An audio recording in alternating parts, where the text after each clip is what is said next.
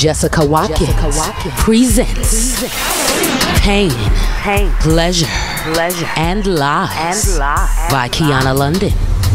Dezzy Tucker has bad taste in men. At least that's the way it seems. After she loses eight years of her life in a dead end relationship. Pain, Newly single, she's hesitant to put herself back out there. Pleasure. After all, she's lost faith in men.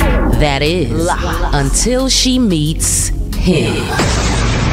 To those around him, Diandre appears to be the perfect package. successful, attractive, charming, and only has eyes for her. But when bits of his past start to emerge, the woman he supposedly has eyes for soon learns that everything about her knight in shining armor isn't always as it seems. In fact, it's more than she ever bargained for.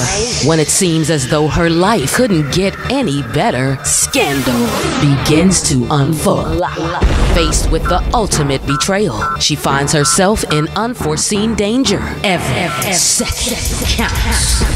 And each move she makes is critical. It's a matter of life and death. Pain, pleasure, and love. by Qiana London. Available June 1st.